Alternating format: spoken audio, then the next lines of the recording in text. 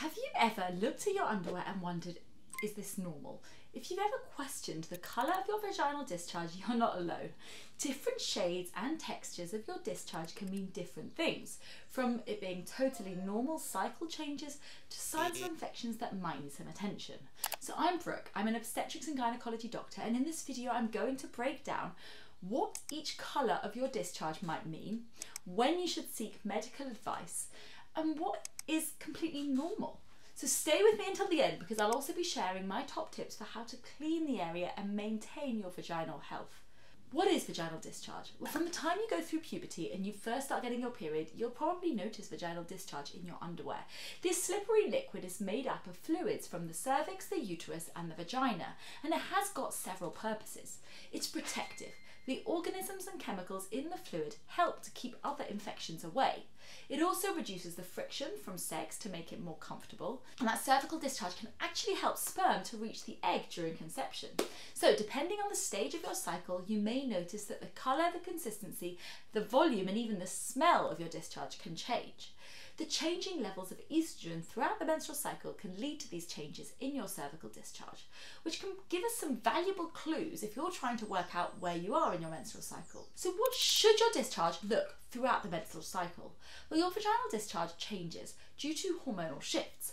After your period ends, the first thing you should notice is some clear or cloudy white discharge feels a bit slippery. This is the follicular phase. As you get closer to ovulation, around the middle of your cycle, it becomes more stretchy and gloopy, similar to raw egg whites. This type of discharge actually helps sperm to reach the egg and it can increase up to 30 times your usual daily amount. Some people may also notice light pink or brown spotting around ovulation. It isn't necessarily a concern if it's something that happens with each cycle, just a few streaks of red or brown blood in the discharge. Now, after ovulation in the luteal phase, discharge becomes thicker, white, and sticky as the progesterone levels rise. The amount gradually decreases, so you get less and less discharge until your next period begins. So, those are all causes of normal, white, or clear discharge. So, what does yellow or green discharge mean?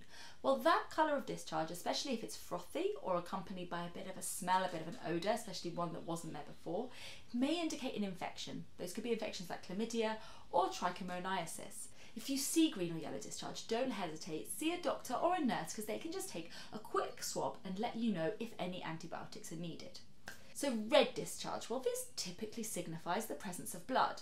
This could be due to your menstrual cycle, so usually on day one to five of your menstrual cycle. But some people might notice this red or pink discharge in the middle of their cycle or in the few days leading into or out of your period.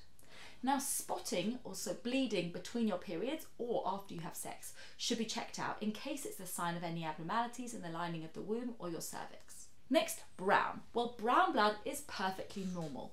It's usually just old blood that has taken longer to leave the body. When any kind of blood is exposed to oxygen, it goes through a process called oxidation, and that changes the colour of the blood from bright red to darker shades of brown or even black.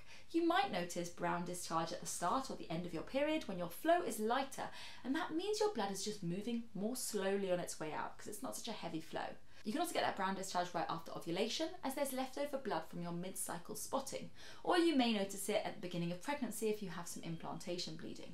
Now, in most cases, brown blood is simply part of your body's natural cycle.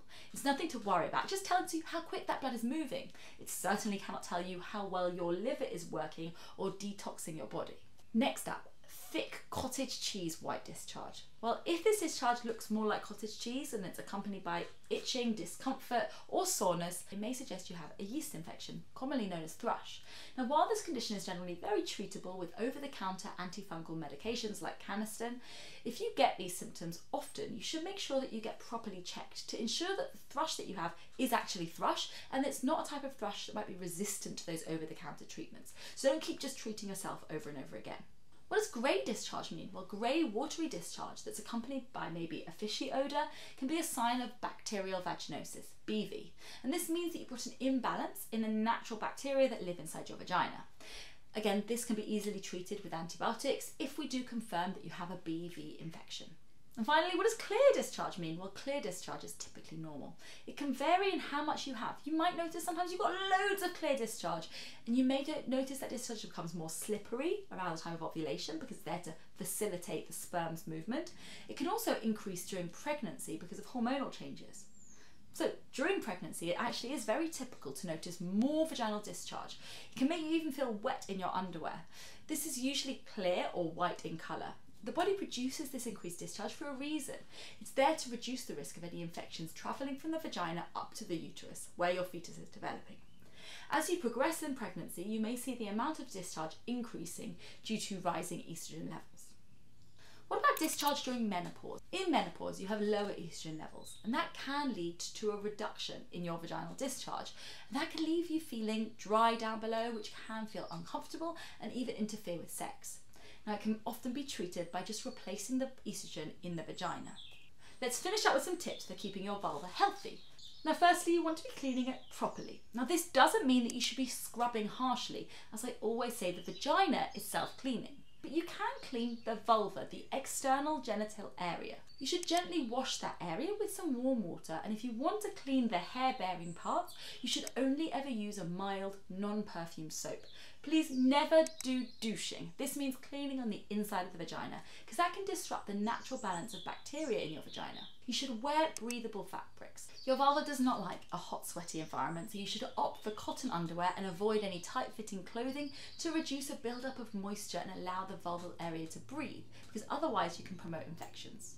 Finally, you should always track your discharge. Keep track of your discharge's colour, its consistency, and your odour. You can use your period tracking app, and by noting any changes, it can help you to go and see your doctor early and identify any potential issues. You should always speak to a healthcare provider if you do notice ever there's a significant change in the colour of the discharge, the smell, or the texture.